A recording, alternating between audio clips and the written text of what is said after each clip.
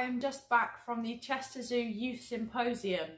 Oh my gosh, what a day it has been. It has been an absolutely inspirational, amazing weekend with so many amazing speakers. It has been absolutely brilliant and I'm so lucky to have the privilege to have been able to speak there. That was absolutely amazing. The presentation went really well. I have my Tea and the Deep Blue Sea sticker. Yes, I now have stickers, um, which I'm really excited about. I bribe people to come to my talk with stickers. I also have my lovely Chester Zoo mug of tea, which I am thoroughly enjoying and warming up after a very long day at the zoo. I went around the Chester Zoo lanterns, absolutely brilliant, absolutely gorgeous displays of lights, I had an absolutely amazing time and it's so nice to be back at the hotel and I'm just about ready for bed, honestly. So this is my presentation video. I hope you enjoy it. It is about 25 minutes long, so it is a bit of a long video, so I hope you enjoy that. Um, if you've got any questions or anything, let me know down below. If you want to follow me on Instagram, it is Tea and the Deep Blue Sea. I will leave my link down in the description for you. I hope you've all had a fantastic weekend wherever you are and have drank lots of tea. I know I certainly have. It has definitely kept me going through the youth symposium. Oh yeah. It feels so cool having my name on the badge and having me named as a presenter. Oh, it has been absolutely fantastic. Such, such a delightful weekend with so many amazing people and it was so lovely to meet everyone. So if you were there this weekend, it was lovely to meet you. Thank you for coming. If you weren't, hopefully I'll see you next time and I hope you enjoy this video. Thank you very much for watching. Cheers. Yeah, you can introduce yourself. Go on, I know nothing about it, so I'm as excited as everyone else here. So yeah, fire away. Thank you very much. So I'm Victoria Emma O'Brien. I'm an independent conservationist. I know a lot of you are here with groups. I'm here Billy No Mates by myself. So I'm delighted to be here at Chester Zoo's very first youth symposium. So I hope everyone's having a good weekend, enjoyed the nice lunch. So today I'll be focusing on ocean conservation, sharing my passion for marine life to help educate and inspire everyone here to become involved in ocean conservation and raise awareness of how important our oceans are. So I'll be covering an introduction to ocean conservation, climate change, coral bleaching, the plastic pandemic, and what you can do to help. The future of the ocean is our future. It's my future, it's your future. It impacts almost every area of our lives. Without us even realising it, the ocean helps with our economic, social and ecological well-being of everyone everywhere. We are the generation that can go on to save our oceans and save our planet's ecosystem. We need the oceans and they need us to be the change in the world. We have the privilege and more importantly the moral obligation to do so, to ameliorate the countless years of damage caused by the human race. We live in a world unlike any other, not just the natural world, but the technological world as well, and the way they are coming together to help save our natural world. The world that we rely on for so much, that is the very essence of our being. So what do you think of when you think of the ocean? I know for many of us, probably myself included, it's the brilliantly coloured coral reefs that are home to thousands of species, both vertebrates and invertebrates worldwide. The beauty that is there in the vast array of species. Sadly, due to climate change, corals are becoming damaged due to something called coral bleaching, which I will cover later on in this presentation.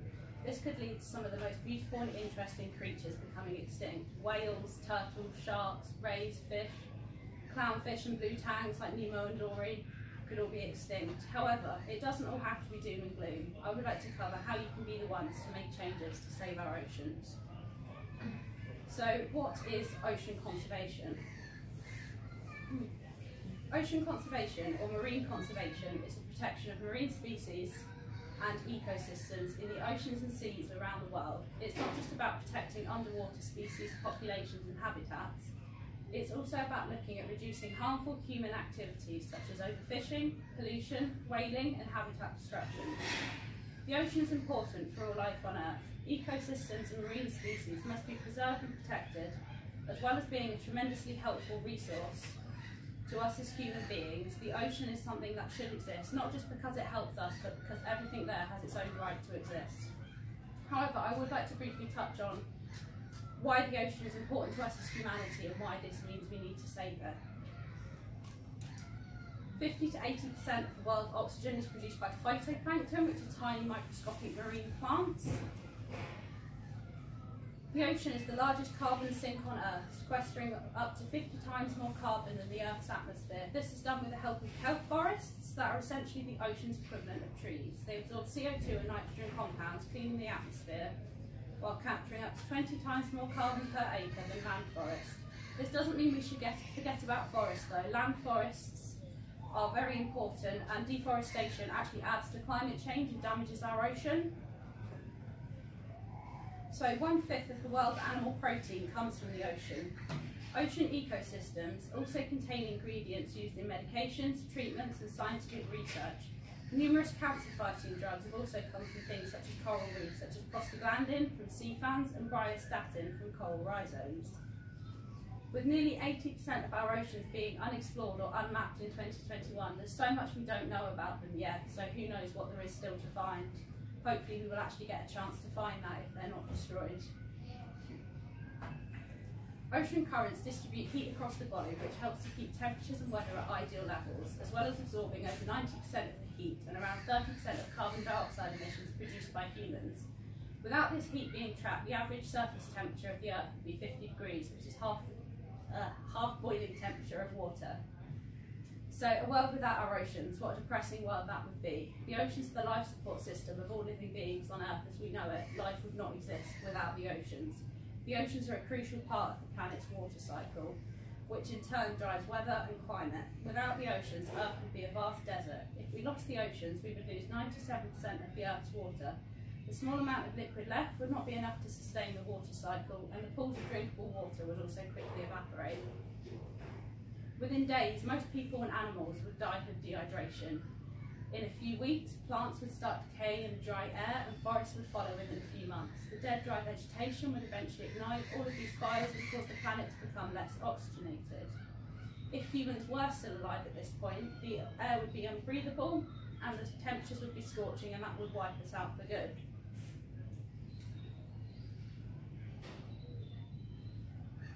So, climate change. There are three main impacts of climate change on our oceans. These are a rising sea level, ocean acidification, and an increase in sea surface temperature, also known as ocean warming. So what are all of these things and how do they affect us? Sea level rise. Sea level rise refers to the rapid increase in the global sea level, which is the average level of the Earth's ocean, the level of the sea surface. The sea level has been increasing at an alarming rate due to two main impacts of climate change thermal expansion and melting of the ice caps and glaciers. So the impacts for this for coastal communities can be devastating. The main threats arising from this include erosion, flooding, marine pollution, habitat loss and fragmentation, heavy rain and strong winds, and loss of land. According to a report by Climate Central, huge areas of Cheshire where we are right now could be underwater by 2050 if the sea level continues to rise. Think of all that could be lost. Ocean acidification. Ocean acidification is where the CO2 present in the atmosphere is absorbed by seawater. Chemical reactions take place to reduce the pH of seawater, the concentration of carbonate ions, and the total amount of calcium carbonate minerals. The decrease in pH means that the ocean is more acidic, so this is harming all of the wildlife in the ocean. So there are three main human or anthropogenic causes of this. These are the burning of fossil fuels, deforestation, and industrial processes. So not only do the farming tools used in deforestation release CO2, but all of the carbon that was once processed and stored by the trees is then released as well.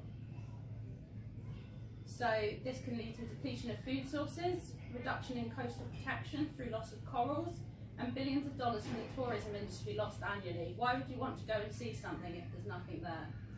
So calcium carbonate, which is um, being at decreased levels, um, is what corals need to produce their skeletons. So without this, uh, it's harder for them to produce their skeletons, they are more frail, so this means less protection for us against storms and cyclones as they do act as a natural defence barrier. And ocean warming. Ocean warming, caused by the presence of greenhouse gases in the atmosphere, is where the ocean absorbs large amounts of heat from the atmosphere, causing the water, especially the sea surface, to become warmer. This poses a threat to numerous marine organisms that are not adapted to the high temperatures. The sea surface, down to around 76 metres, absorbs most of the gases from the atmosphere. This warms at a much faster rate compared to the other areas. This is a major threat to the marine environment, with many organisms, from whales to plankton, living in this area. The majority of marine organisms aren't able to adapt to the fluctuating ocean temperatures, leading to a high probability of mortality, alteration in their distribution and breeding patterns, and an inability to develop and grow properly. The rising sea temperatures are also causing the ice caps to melt. Not only does this add to the rising sea level, but this can cause habitat fragmentation, so things such as polar bears, seals, marine birds may not be able to find refuge, hunt or reproduce. Warmer ocean temperatures also affect climate patterns, leading to stronger and more frequent storms. This is a problem for both marine life and humans, with a potential increase in human and wildlife mortality. So, coral bleaching. So you may not know this, but corals are actually an animal, they're not a plant. So they're an animal that are made up of polyps. These contain millions of microscopic algae called zooxanthellae that give corals their colour. These are what also allows corals to eat. They provide the food for the coral. So when the temperature rises, these plants aren't able to do their jobs correctly. The coral identifies this as a problem and expels them, so the coral is then no longer able to eat and will eventually die. So this is extremely stressful for the corals and this is what leads to their bleaching. So at this stage, they are not dead, however they are extremely vulnerable to diseases and mortality. So as you can see, they start off a white colour when they are bleaching, and then at the end they are dead and covered in green algae. So you go from healthy coral to dead coral coral covered in algae. So they are a natural defence, a breakwater. As well as providing shelter for animals, coral reefs help to protect us. They act as a natural barrier against large waves, as well as helping protect our coastlines, and this helps protect things like kelp forests that are really important nursery grounds for fish. So UK coral reefs. Yes, the UK does have coral reefs, as I think it's been mentioned a few times throughout this weekend. You don't always have to go somewhere tropical and amazing to see wildlife. You can see it right here on our doorstep.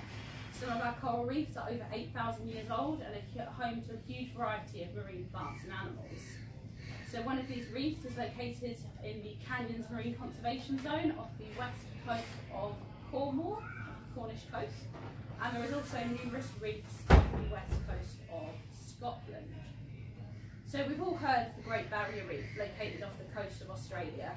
A reef that is around 500,000 years old and in under 30 years we have destroyed half of it.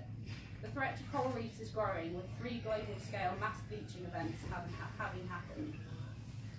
So, according to NOAA, which is the National Oceanic and Atmospheric Administration, the third global bleaching event from 2014 to 2017 brought mass bleaching level stress to more than 75% of global reefs.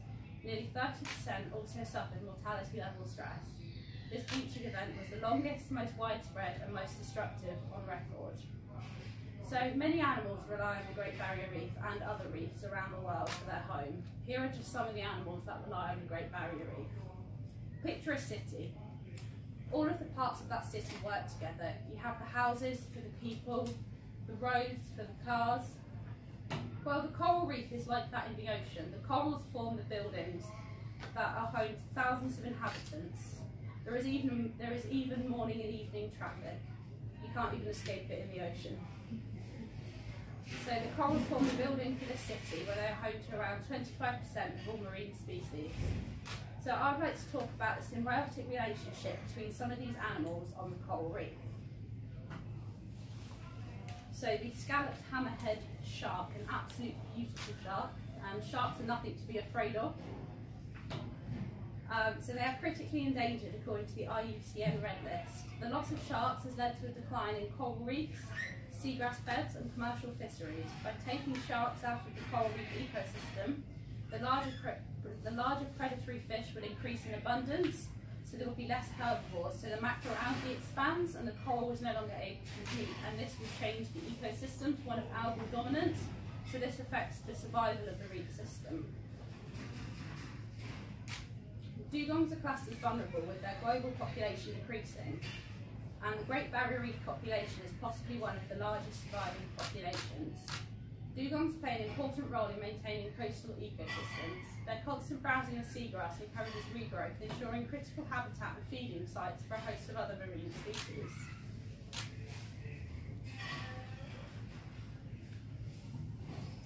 The coral reef is a really important feeding ground for dugongs, so healthy dugongs means healthy seagrass and also healthy reefs. Hawksbill sea turtles. So hawksbill sea turtles have a beak-like mouth, which they use to forage on a variety of marine sponges. So marine sponges are something that aggressively compete with coral for space. So by removing the sponges the root from the reef, the hawksbills allow the corals to grow and colonise. Without hawksbills, sponges are likely to dominate the reef communities, further limiting the growth of corals and modifying the very structure of coral reef ecosystems. So, parrotfish. Before I get on to parrotfish, I've got a really interesting fact about parrotfish for you. So, you know the famous white sand beaches in Hawaii? They're actually made from parrotfish poo.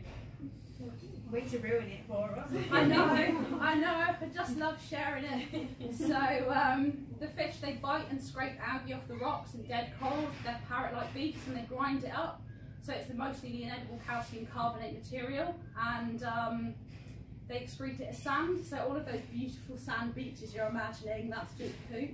so next time you're at the beach, just think of that. So parrotfish are a really important species for coral reefs. So algae can quickly dominate the reefs and stop coral larvae from settling and creating the next generation of coral reefs. So parrotfish help to keep the algae growth under control and provide space for new corals to go, to grow. So, the plastic pandemic. Most of us have seen these images, the truly heartbreaking images that display the plastic pandemic that is going on around us. Some as recent as 2020, where many more disposable single-use products have been used and discarded of inappropriately, leading to a variety of wildlife being endangered. Every minute, the equivalent of a truckload of rubbish enters the ocean. Throughout this presentation, that is 20 truckloads of rubbish. So you may have heard of the Great Pacific Garbage Patch, which is a collection of marine rubbish floating in the Pacific Ocean that is six times larger than the UK. So a percent of this is made up of microplastics and they are a problem throughout the ocean. So does anybody know what microplastics are? Put your hands up if you know, heard of microplastics. So most of you have heard of microplastics, so I won't go too much into detail, but yes, they are tiny fragments of plastic less than five millimetres in length. So plastic doesn't go away, it breaks down into smaller and smaller pieces, creating microplastics. And they are a big problem. They're ingested at multiple levels of the food chain and can build up to toxic levels in apex predator. They can even end up in the food that we eat. So when ingested, they can block the gastrointestinal tract of organisms or trick them into thinking that they have eaten and that they are full, so it leads to starvation. Or toxins can also adhere to the surface of these, so that can lead to high levels of toxins being ingested and being in high concentrations in species. So if we continue at our current rate, there is likely to be more plastic than fish in our oceans by 2050. Plastic pollution has even reached the bottom of the Mariana Trench, which is the deepest point in the ocean, and this is around seven miles deep. So, conservation conversation, what you can do. So there are a number of ways you can help with plastic pollution. I always carry my reusable water bottle, and you can see uh, you can you can see on the screen some of the things that you can do. I always carry a reusable coffee cup as well, although mine's for tea, for 50 cups of tea a drink a day. So absolutely rely on that all of the time. You can also use things such as reusable cutlery and things like that to reduce single-use plastics. So another important thing is the five R's. Refuse, reduce, reuse, recycle and rot. Refuse. Learn to say no to things you don't need. Reduce. Donate or sell things you no longer need. Reuse. Switch to reusable items like cotton buds, tissues and reusable makeup remover pads. Recycle. Sort your waste correctly and minimise what goes to landfill. Rot. Compost your own household waste or take part in the community programme for composting organic waste. So there are numerous ways that you can help. Don't charge your electrical devices overnight. Wash your clothes at a cooler temperature. Only eat sustainably caught fish. A really good tool for this is the Good Fish Guide. turn your heating down, even if it is just by one degree, it all makes that difference, or just put a jumper on. You can also sign petitions, write to your local MP and volunteer. One of the most important ways you can help is by starting a conversation with your friends and family. People are more likely to become involved in conservation when they know others are doing that action too. Share with your friends and family what you are doing and what they can do. Help to educate and inspire others to do some of these actions. If everyone does a small amount, it will make a difference. With Christmas coming up, you can even buy eco-friendly gifts or put together little eco-friendly gift hampers for people. So if everyone takes small actions, it can make a big difference. Remember, small actions have big consequences. Thank you. Are there any questions?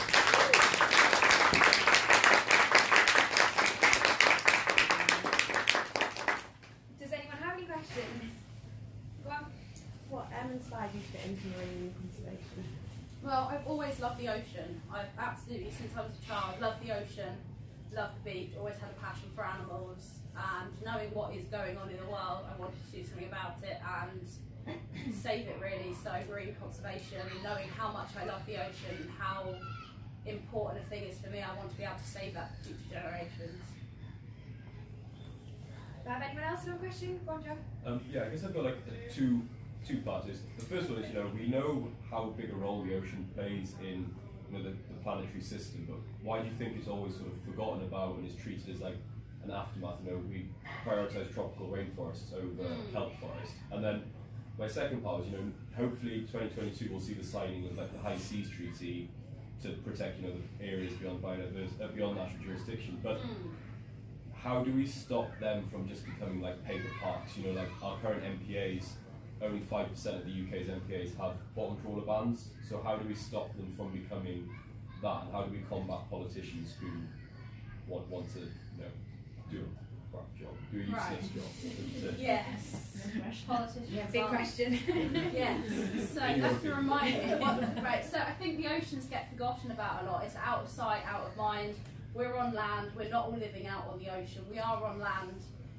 It's what it's what we see every day. It's the oceans that they're they're out of the way. They're something that people don't really think about. They're something that are that are forgotten about. And I think there's been a lot of big campaigns about saving our rainforests and everything like that, and there hasn't been as many that I'm aware of big ocean campaigns that you see all over the news, that you see anywhere. I think there's a lack of publicity, and yeah. So what was your second part of your question? Um, how do we sort of talk to politicians and policymakers about actually making MPAs like protected so that they're not just paper parks? I'm not entirely sure, honestly. Um, I think that's a really tricky one. I'm probably not the best person to ask on that one. I don't know, unfortunately. Um, but I'll have a think, and if I think of anything, Yeah. I will let you know. Has anyone got an easy question? Then Joe taking no prisoners today. Go on. You said you're here independently, but do you work in marine conservation? No, I don't work in marine conservation at the moment. I'm hoping to study marine biology at university, um, so it's just a bit of a passion project for me at the moment. I run a YouTube channel that I've recently started called Tea and the Deep Blue Sea, where I drink tea and talk about the ocean and also sea monkeys, um, which I'm filming for today. So hello to YouTube. Um, so yeah, I don't work in it at the moment, although that's the dream really is to work in marine conservation. Brilliant. Is that anywhere else? Any more questions? No? Fab.